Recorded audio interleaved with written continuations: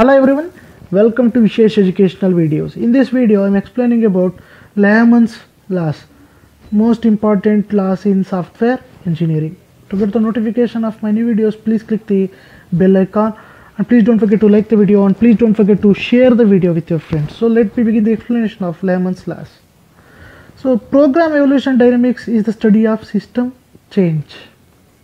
That means you know that when you deliver the software right after delivering the software to your customer you need to maintain your software. Maintain means your software may have some errors.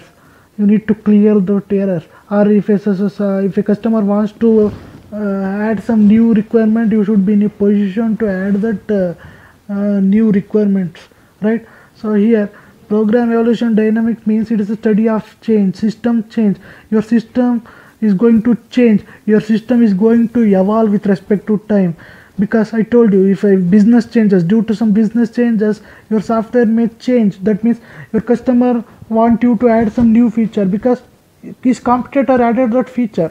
That's why you also need that feature. So your program will change or your software will change with respect to time. Your, your software will evolve with respect to time. So Lehman uh, given uh, he has given some laws concerning about system change. So now i will explain what are those laws with respect to system change.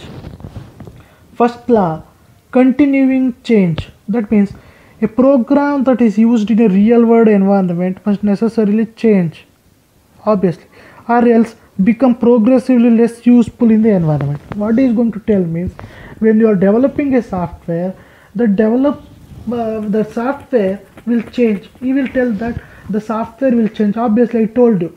When your competitor added the feature to that particular software you also added you also need that features to uh, right to be in the competition or else you will become outdated.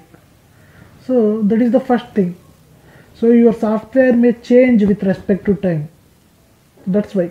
Changes are continuous you you need to uh, you need to do, add the changes with respect to the business or with respect to the customer needs. Or else your program or your software will become outdated or it become less useful. That is the first law tells. Changes are continuous. For example uh, assume that i have a bank software uh, my competitor bank uh, added some extra feature like uh, uh, cardless ATM transaction. Now, as a competitor, I also add that cardless ATM transaction. Otherwise, you will become outdated. So, a program needs to be maintained. A program needs to uh, be a program will change obviously. You are right. A program will a software will change, or else it will become outdated. Next, in increasing complexity. That means as a evolving program changes, its structure tends to become more complex. Extra resources must be devoted to preserve and simplifying the structure. That means when you do the changes to your program, obviously the complexity of the program or the complexity of the software will also increase.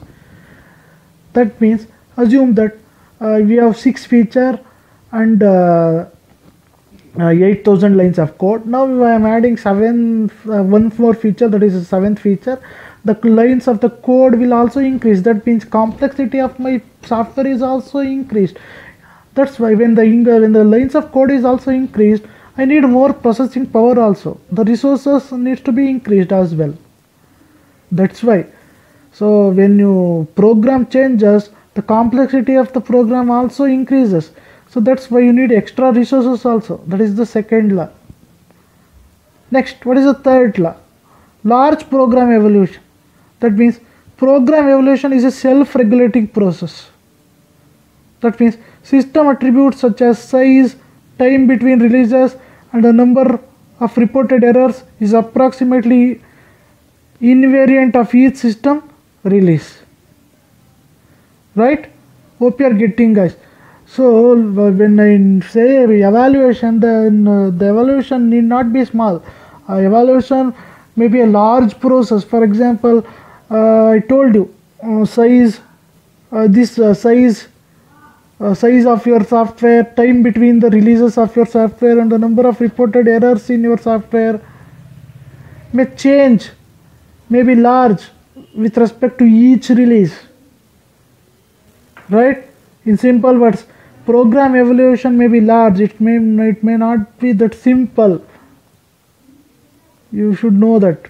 Evaluation means it may be a large process.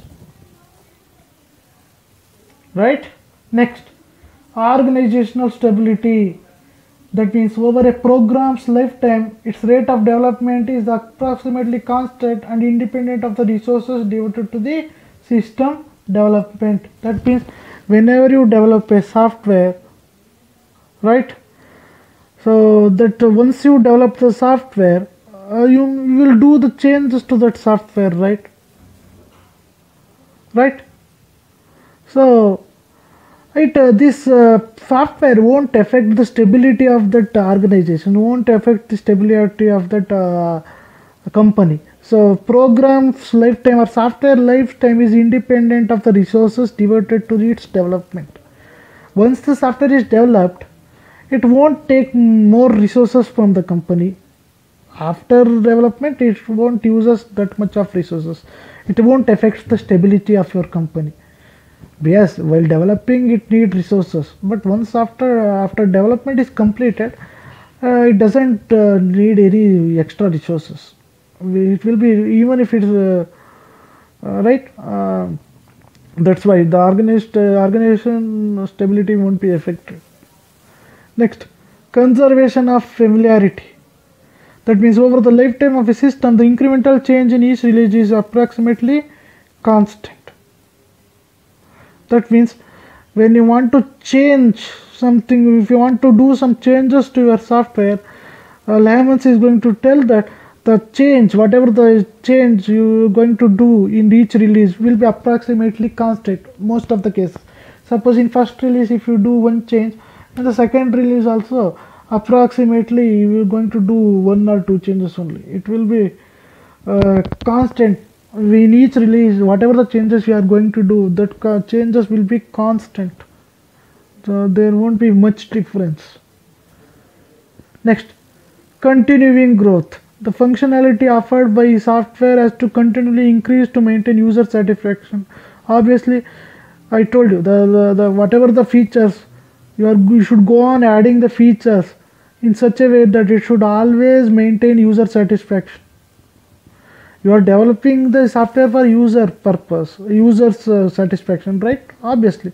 If a user is not satisfied whatever the what is the use in developing that particular software? Obviously that's why. Uh, when you add the extra features the features should be in such a way that it should uh, always help the user user should be satisfied. Next quality. Declining quality. That means the quality of the system will decline unless they are modified to reflect the changes in the uh, operational. Declining quality means what? The whatever the quality of the system will be there that quality will be declined if the if it is not if it is not modified to reflect the changes in the operational environment. In simple words right? Uh, suppose uh, you think that you have tested uh, your software for 10,000 users. Now uh, but your software will be used will be operational for 20,000 users. Getting guys? You tested your software for 10,000 users but your software will be operational in 20,000 users.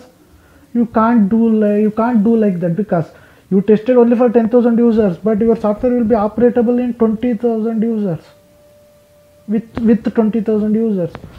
So that's why you can't do like that. The quality will decrease because uh, when 20,000 uh, users use the software the quality will be reduced. So what is going to tell that quality of the system will decline unless they are modified to reflect the changes in their operational environment. That means if it is tested for Uh, if it is using if you are using your software for 20000 users then it should be tested for 20,000 20, users only. Your testing environment and operational environment needs to be same. Then only the quality will be maintained. Otherwise the quality will be declined. Getting guys? Next feedback system evaluation process always should inc- incorporate a multi-loop feedback systems. Because you need a feedback system for the improvement of your software. Obvious that's why you need to include a multi-loop feedback system for your software. Always you need to collect the feedback from your users of the software. Thereby you can improve your software. So Lehman tells that feedback system is a must. Right? When you have feedback system you can collect the uh, feedback from your uh, customers and you can uh, continuously uh, improve. You can continuously improve your software without any problems. So hope you understood the concept guys. Suppose if you have any doubts please post your doubts in the comment section. I'm happy to help. Thank you. Thank you for watching the video